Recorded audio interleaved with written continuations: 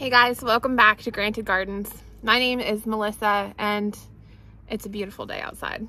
We just got through the terrible cold spell last week that everyone was going through um, here this winter and it was to the point where it was like two degrees I think was the lowest that I'd seen on my weather on my phone. Um, throughout that process, we really just focused a lot on the chickens, making sure that they had access to fresh water, food. Um, we actually kept them in the coop for a couple days because it was just so cold uh, and the wind was blowing rough. Uh, I think the wind was the biggest issue. So we had kept them in the coop because that coop door, when it opens, uh, that was the direction that the wind was coming through. So we just tried to keep them as warm as possible. They're doing great. Uh, they did not skip a beat at all. They're all uh, fully feathered, thank goodness, and uh, kept nice and toasty in the coop. So everyone panned through just well. It's a beautiful day today, so I'm out here. I'm gonna give the chickens some special treats and just kind of make their day a little bit better because they finally get a chance to hang out outside. Got some oranges, apple peels, and some kitchen scraps that we're gonna brighten their day with and maybe get them some scratch so that they got something to do while they're out today.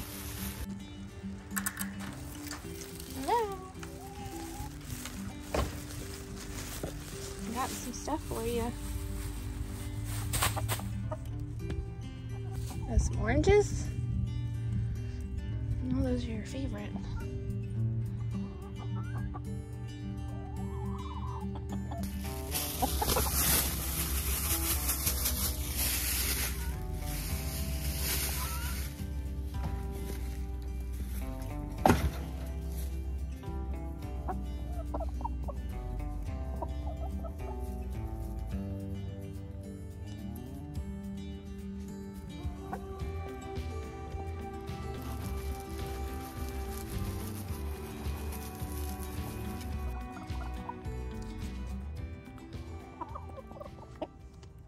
Sun is out in full force.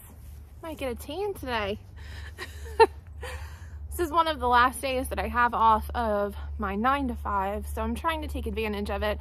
I was actually flipping through my pictures the other day when it was super cold outside. I was flipping through my pictures of the garden over the years and just kind of dreaming and thinking about what I want to do with this space this year.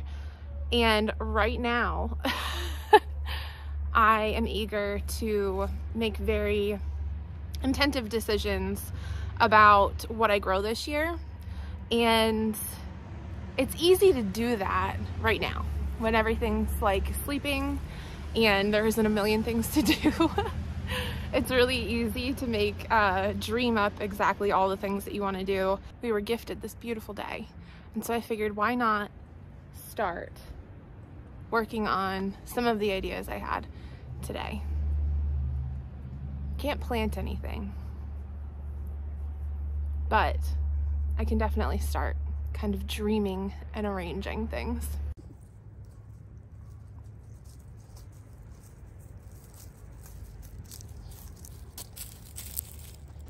A few years back, I kind of stumbled across this really cool little nook in the backyard that I kind of fell in love with. Since then, I have been attempting to make it usable, but I haven't really put a ton of effort into jazzing it up. And so I think like this is just one of the things that my heart has been kind of called to over the last few days is to work on this space. So this is the nook that I'm talking about. It's kind of right behind our chicken coop. And then in the summer and the spring, spring and summer, this gets really filled in like leafy green. I mean, you really can't see through that at all. And this little space back here just becomes a really cute, beautiful little hideout. And one of the things we did get was this bench here. So we can sit on the bench. My favorite part is I can sit on the bench and watch the chickens.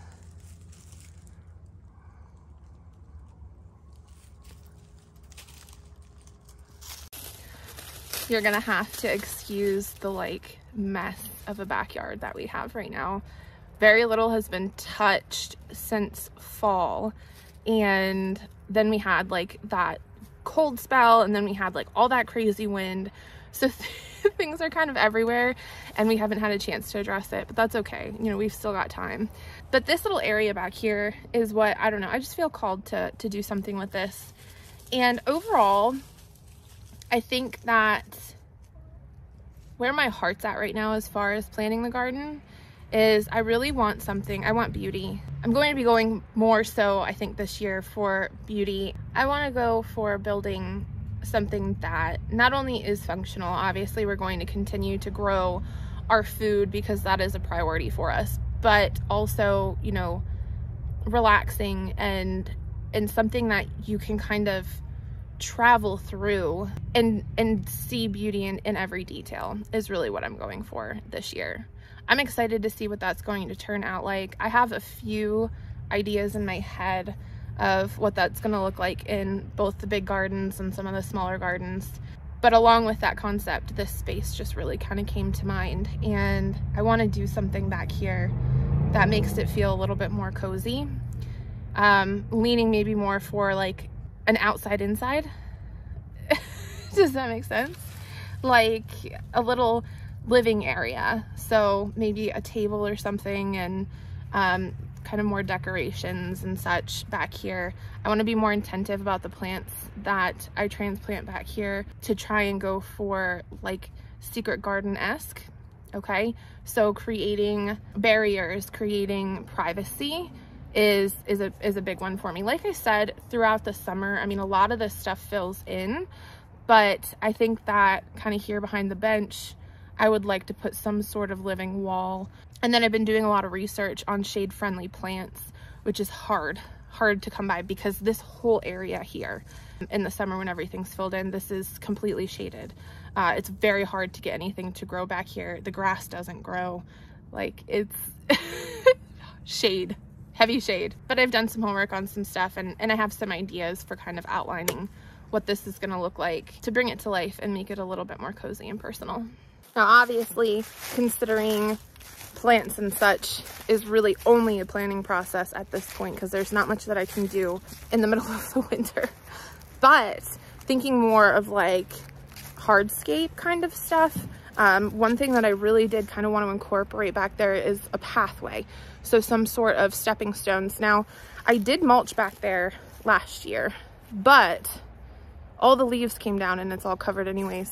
So it could be a bit of a process. I know that we do have some stones here on the side of the house. So I want to take a peek and see how much we have. See if that's maybe something I could do.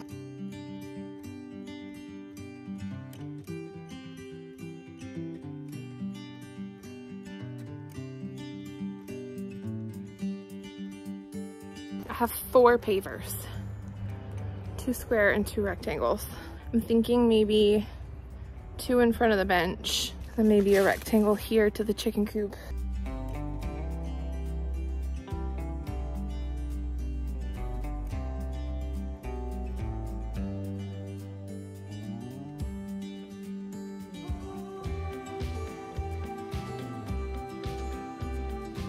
Okay, got the two pavers down. I think I'm like hypothetically would really love to get like an arch here. But the thing is, is I don't necessarily want to like buy one. They're kind of pricey. They're extremely expensive, let's be honest. Like even the chintzy ones that fall apart in like a year are expensive. Um, so I'm thinking about maybe trying to build one. I don't know. If I do, I'll probably be on my own. Because I don't know if Tyler's going to be up for wanting to build an arch. But um, I don't know. I might try it. We'll see. All right, so there we go. We got a little pathway okay? It's not perfect, guys. I'm aware. Doesn't need to be perfect. Just functional at this point. This is gonna continue to be an ongoing project. So if I come across other pavers, I'll make it work with that. You know, I love Freecycle. It's where I usually get my stuff. So I'll keep my eyes peeled. But for now, that's what we're doing. So I started like researching secret gardens, Pinterest, to try and get some cute ideas. There were a few things that they mentioned that are a requirement for a secret garden. And first one being a pathway, okay, check. It's not perfect, but it's there. Second one is an entrance. So if I can build my arch, we'll have that.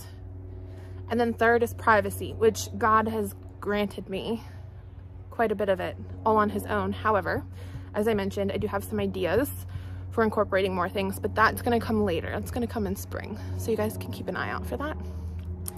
Um, I think I'm happy with today. I'm gonna go, ooh, bugs. I'm gonna go and turn our compost pile, make sure that's getting some circulation because it hasn't been turned at all since we built it. Um, so this, we're pretty much on track for doing it the exact same way we did last year. but it worked out fine last year too. so uh, gotta trust the process and just have faith. As always, thank you guys so much for watching. I look forward to sharing more with you soon.